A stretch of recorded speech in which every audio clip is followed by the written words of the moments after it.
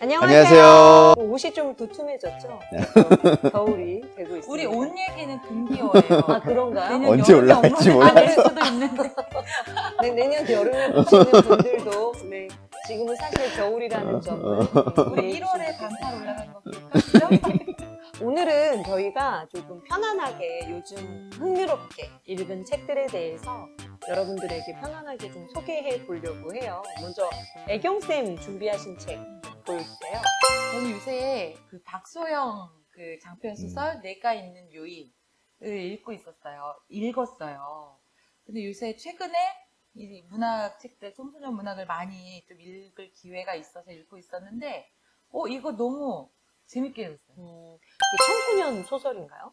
어, 일단 창비 청소년 문학의 121권이라고 되어 있는 걸로 봐서는 청소년 문학의 출판사에서 나온 건데 음. 읽다 보면 또 그렇게 청소년 소설 음. 같은 느낌이 들진 않아요. 그 네. 이유가 음. 주인공들이 일단은 어, 청소년이라기보다는 음. 그 이후에 뭐 성인의 삶을 살고 있는 20대 초반, 10대 후반 그런 주인공들이어서 음. 청소년 소설 같은 느낌은 안 들고요. 오히려 SF. 어, SF가 음. 강하다. 네.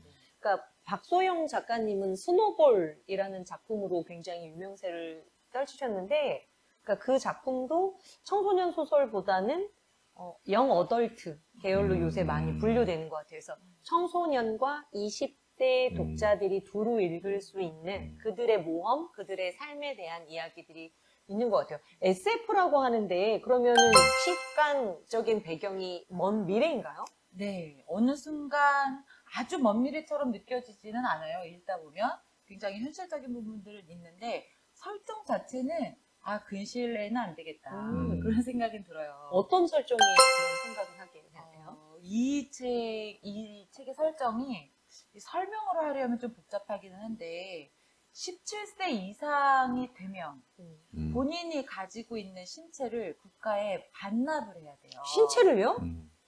그리고 이 사람은 신체는 반납을, 하- 반납을 하고 뇌만 데이터 저장소에 보관이 되는 거예요. 음.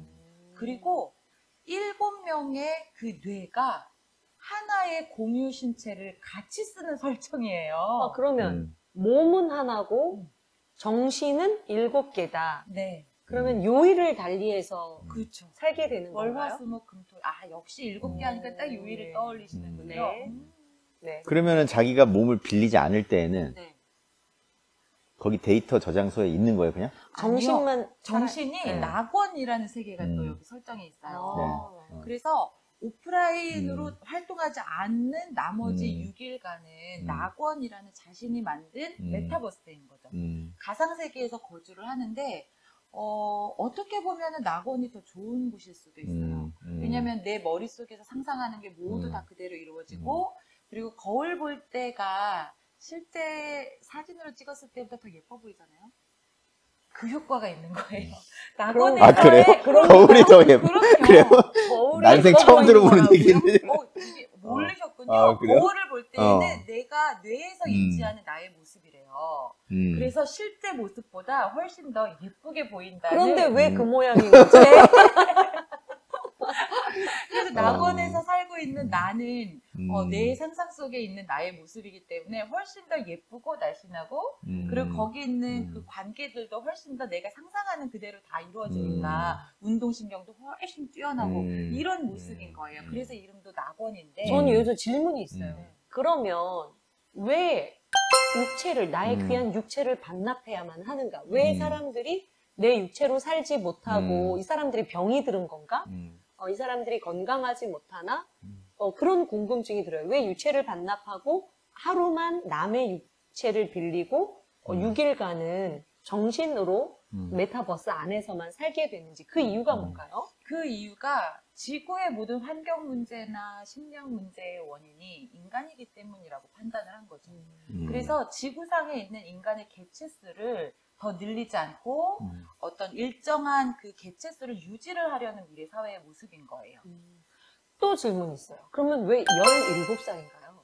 17살을 성인으로 본 것 같아요. 17을 음. 성인으로 보고 그럼 그 성인이 된 버려지는 반납한 바디들은 어디로 가죠? 반납한 바디는 국가가 선택적으로 음. 공유 신체로 하거나 함께도 하고 나머지는 폐기 처분해요. 어. 아 폐기 처분. 혹시 그런 재력이 많은 사람들이 더 젊은 신체로 네. 이렇게 아, 하는 나는 거죠. 돈이 있으니까 어, 더 젊은 젊은 신체를 어, 선점하겠다. 어.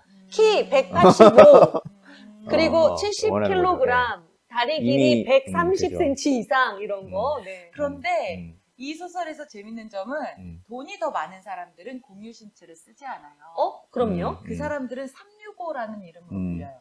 365, 365. 365. 369. 그 365일 내내 자기의 신체를 그냥 쓸 수 있는 건 음. 거죠. 그러면 공- 자기 걸 반납하지도 음. 않고. 않고. 근데 17살이 아무리 성인이라 하더라도 17살은 음. 돈을 많이 모을 수 있는 나이는 아니잖아요. 그러니까 그러면 부모예요. 금수저, 음. 다이아몬드 음. 수저만 자기 몸으로 살 수 있는. 음. 어허. 자, 우리 국가에서 공유 신체를 안 쓰려면 환경 부담금을 내라고 해요. 음. 근데 그 세금의 양이 엄청나게 많은 거예요. 네. 그래서 이 세금을 낼 수 있는 사람들은 365로 인생을 살고 음. 그게 아닌 사람들은 지구 음. 환경을 위해서 자신의 신체는 반납을 하고 음. 공유 굉장히 신체를 써야 되는 거예요. 굉장히 흥미롭네요. 음. 저 같은 경우는 공유 신체도 하루도 음. 못쓸 수도 있는 거 아닌가요? 어, 일. 일주일 중에 아, 월요일도 아, 안 되고, 그럴 수 있을 것 같네요. 어쨌든 굉장히 흥미로운데, 선생님께서 이 책을 읽고 친구들에게 소개해주고 싶었던 가장 큰 이유는 뭘까요? 이 설정도 흥미로운데 이 진행되는 이야기들도 굉장히 탄탄해요. 음. 그리고 이게 SF임에도 불구하고 이게 어, 정말 다른 세계에서 벌어지는 일이라는 생각이 들지 않고 아 이게 진짜 시간이 지나서 어느 순간 미래가 되면 내가 겪을 수 있는 일인가? 음. 라는 생각을 들게 만들고요. 그리고 영화를 보는 느낌이에요. 어떤 음. 이런 스토리가 있고 어. 신체를 공유하기 때문에 생기는 어떤 갈등들이 있을 수 있잖아요. 음. 그 화요일에 몸을 쓰는 사람과 음. 수요일에 몸을 쓰는 음. 사람이 있는데 음. 저 같으면 먼저 쓰는 사람이 더 좋을 것 같거든요. 음. 음. 깨끗한 바디?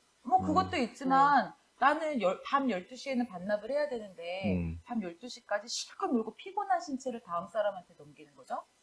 그러면 음. 다음날 그 신체를 받은 사람은 오후 1시에 일어나요. 그러면 이 사람의 하루 일과는 11시간밖에 그럼 안 만약에 되죠? 예를 들어서 성인들 중에 네. 과음을 해가지고 맞아요. 만취를 하면 저요? 저요? 계속 아침에 자고 있으면 몇 시간 활동을 못 하는 거네. 맞아요. 아. 그래서 그런 갈등이 어. 이 소설 중에 아. 막 나와요. 아. 근데 이제 그런 부분들도 어, 되게 재미있는 부분들이 있고 음. 또 이게 제목이 내가 있는 응? 요일이 삐리리 요일이네요. 음. 내가 있는 삐리리 음. 요일. 음. 근데 이게 이제 작가는 이렇게까지 얘기를 하면 너무 많은 이야기일 수도 있지만 음. 작가는 나름 로맨스 소설을 쓰고 싶었다라고 아, 해요. 우리 음. 학생들이 좋아하는 어, 로맨스까지. 네. 근데 선생님 이거 제법 두꺼워 보여요. 음. 그리고 종이가 되게 얇거든요. 음. 얇은 종이가 이렇게 두꺼우면 음. 이거 제법 페이지 수가 나가는 건데 음. 무려 400페이지? 네, 그래서 부글부글해서 정식으로 소개하지는 않고 제가 재밌게 읽은 음. 책으로 지금 아니 그럼 400페이지 읽으려면 너무 힘든 거 아니에요? 음, 근데 400페이지만큼 길다는 생각이 별로 어. 들지는 않아요. 네. 이 스토리가 굉장히 이렇게 치밀하게 촘촘하게 음. 여러 가지 사건들이 벌어지는데 그 사건들이 앞에서 있었던 일이 뒤에서 다 연결이 돼요. 네. 그리고 로맨스의 요소도 있는데 그게 앞에서 굉장히 소위 말하는 빌드업이죠. 어. 이걸 차곡차곡 잘 쌓아가기 때문에 뒤에서 뭔가 로맨스가 딱 음. 펼쳐질 때 떡밥 회수. 맞아요. 그 느낌 그리고 더 애틋하고 어. 막 음. 더 설레이고 음. 그런 느낌들도 음. 좀 들었던 것 네, 같아요. 아주 아 제가 오늘 이 책을 빌려가고 음. 싶을 어, 되게 흥미로운 굉장히 이야기 같아요. 흥미롭네요. 이해력 같습니다. 어. 네, 네. 제가 얼쌤 어떻게 하시겠어요? 어, 저도 빌려가고 싶은 생각이. 어, 가위바위보. 아, 예. 거기다가 가위바위보로 정하도록 하겠습니다. 아, 네네. 네, 선생님 내가 있는 요일 요일. 박소영 작가의 음. 작품이고 창비에서 나온 음. 책 음. 여러분 많은 관심 가져주시기 바랍니다.